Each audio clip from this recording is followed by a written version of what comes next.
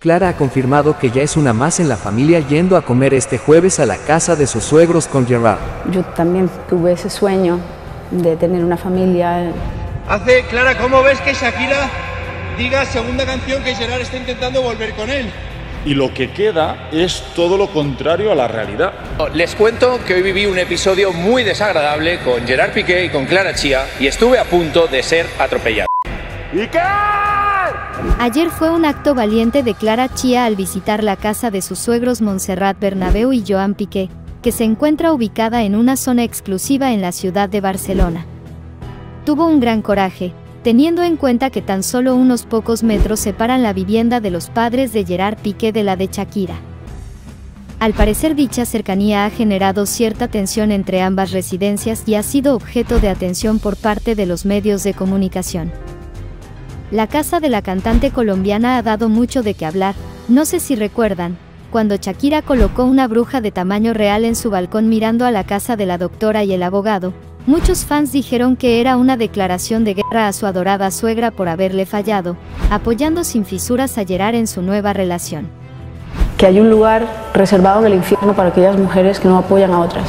La segunda ocasión en la que la casa cobró protagonismo fue cuando la cantante realizó una gran fiesta con amigos y algunos fans para festejar por todo lo alto el éxito de su canción con Bizarrap, y para celebrar no dudó en poner su trilogía dedicada a Piqué, tal como Te Felicito, monotonía y session 53 a todo volumen hasta bien entrada la madrugada.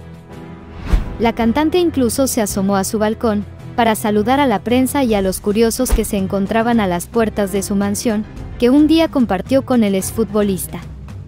Y la tercera cuando levantó un muro, para separar ambas residencias conectadas hasta entonces por algunas áreas comunes como el jardín. Fue hacia el mediodía de ayer, cuando Gerard y Clara aparecieron en la urbanización montados en un lujoso coche y entraron en la casa de sus padres. Y a pesar de que la prensa no dudó en preguntarles por la última canción de Shakira con Karol G, tan solo obtuvieron silencio e indiferencia por parte de la pareja. Gerard, Clara, Hasta el momento Clara ha evitado pronunciarse públicamente ante la prensa, y jamás ha respondido a los micrófonos que la acosan día y noche.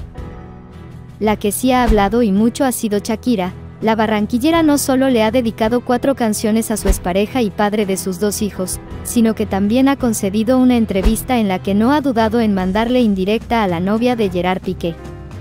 Y donde también expresó, en el infierno hay un lugar para las mujeres que no apoyan a otras mujeres. El periodista Jordi Martín, intentó preguntarle a Clara Chía y a Piqué su opinión acerca de la nueva canción de Shakira, pero la joven y el exfutbolista no respondieron y en su lugar hicieron señas no muy amistosas desde su auto.